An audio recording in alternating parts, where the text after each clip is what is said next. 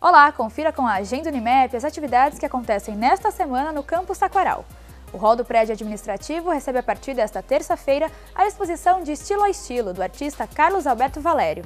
A mostra fica disponível até o dia 19 de junho. Visitas de segunda a sexta-feira, das 8 da manhã às 10 da noite e de sábado, das 8 da manhã às 4 da tarde.